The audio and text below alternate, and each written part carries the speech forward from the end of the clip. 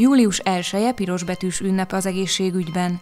Szemelweis Ignácnak, az anyák megmentőjének születésnapja nem csak munkaszüneti nap a dolgozóknak, de ilyenkor osztják ki az év orvosa és az év ápolója díjat, valamint a kinevezések is ilyenkor esedékesek. Mindig alulról érkező javaslatok vannak, és a főnövérek az ápolók kapcsán, illetve a főorvosi kar az orvosok kapcsán terjeszt elő több nevet is mindig minden díjra, és aztán a, vagy a menedzsment, vagy a kórház közössége dönt abban, hogy kit szeretnénk az, abban az évben kitüntetni.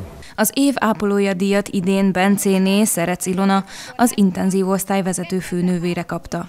Pap előtt főorvos szerint az egész intenzív osztályt a hátán viszi, szakmailag és emberileg egyaránt alkalmas a kitüntetésre.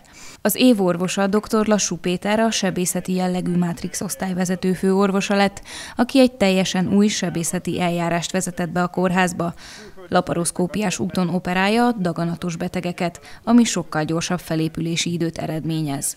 Ez mindenképpen a továbbiakban egy nagyon fontos lelki támaszt nyújt a kollégáknak, hiszen nem csak egy egyszemélyi elismerés, nem arról van szó, hogy a főnöke felterjesztette, vagy a kórház igazgatója adott neki valami kitüntetést, hanem egy egész közösség ismeri el az ő szellemi munkásságát, illetve az ő személyiségét is, és ez mindenképpen fontos minden kollégának.